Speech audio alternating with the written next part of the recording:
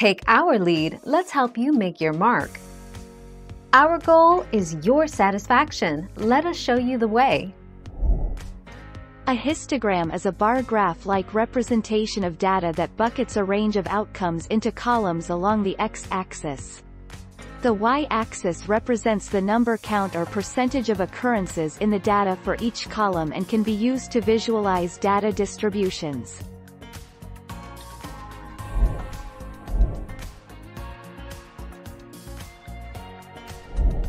Let's help you make your mark. Use histograms when you have continuous measurements and want to understand the distribution of values and look for outliers.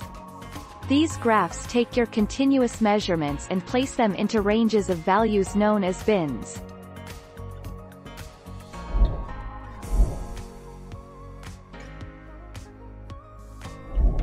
Make your mark, take our lead. The main advantages of a histogram are its simplicity and versatility.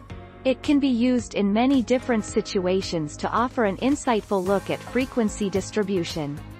For example, it can be used in sales and marketing to develop the most effective pricing plans and marketing campaigns.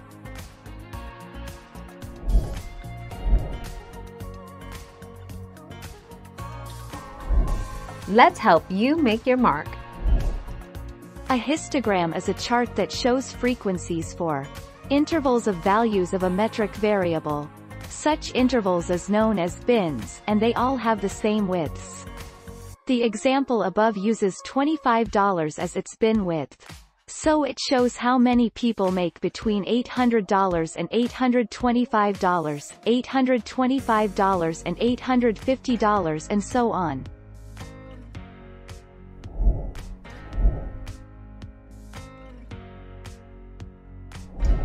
Let's help you make your mark.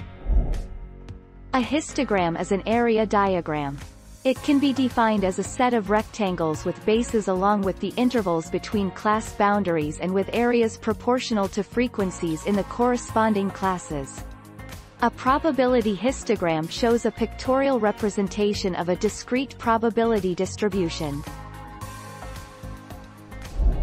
Thank you for watching. Please subscribe and hit the bell notification.